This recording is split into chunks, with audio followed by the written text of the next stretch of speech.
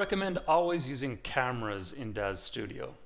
Not only do cameras have a lot more features than your default perspective view, but if you ever have to quit and reopen a scene, you're going to lose your framing if you're only using perspective view because it goes back to the default position.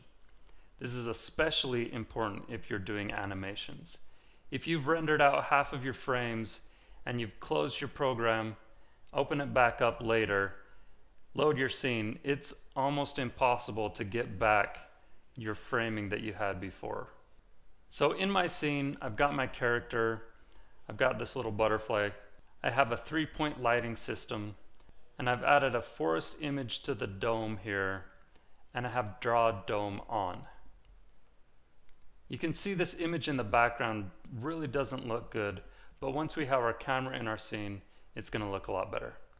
So let's go ahead and create a camera, either by going to create new camera or just by clicking here. And I'm going to copy active view. That's going to keep the framing that I have right here. Let's accept, and then let's make sure that we are in our camera view. So with our camera selected, let's go into our camera pane and first of all, I always like to turn the headlamp off. Then let's go into our camera settings. If you turn off perspective, it's going to create a very flat image like this. So let's just keep it on. You can mess with the frame width and length. I'm just going to leave it how it is here. And I'm going to turn on depth of field. Depth of field tells you what is in focus and what is out of focus. This emulates the lens of a real camera. So I'm going to turn off my Iray and then come into perspective view. And then I'm going to rotate around and you're going to see what this focal distance is. This is going to show you how far away from the camera the distance of your focus is.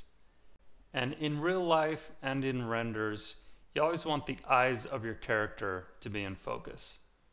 So you can choose either eye, but I always choose the one that's closest to the camera. Your f-stop is going to tell you how much is in focus. So the higher the f-stop, the deeper the range of focus is. So let's go back to camera one, turn our Iray back on. So you can see that that keeps a lot in focus. So let's bring this back down to let's say something really low like 5 and you're gonna see that that can be a cool effect but this isn't the kind of render that I want. So let's pull it back up to about 20